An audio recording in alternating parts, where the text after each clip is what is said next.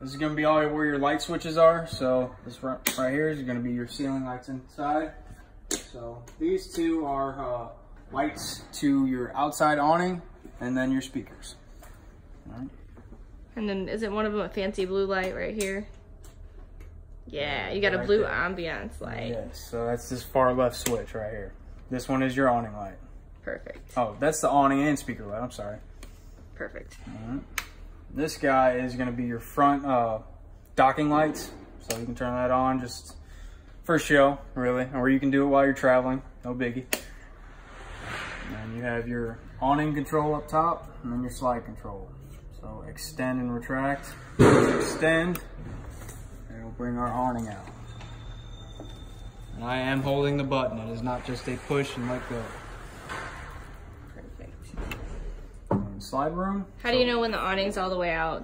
So once you know the awning's all the way out, you're gonna see a piece of this uh, vinyl, this material. It's gonna be dropping down and you're gonna see a black part of the tube go all the way across. And this is a big awning, so it's probably a 12 foot awning, so you'll have a lot of room right there. Perfect. And then slide room, just power in and out. Right, so right now it is all the way out. I'm just gonna bring it in.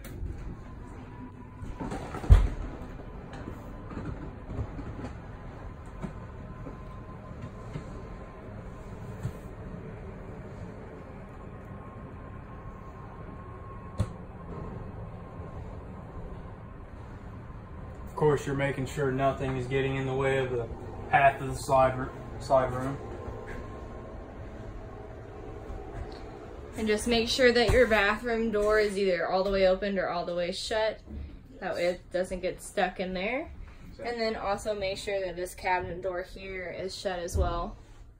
So you have no issues.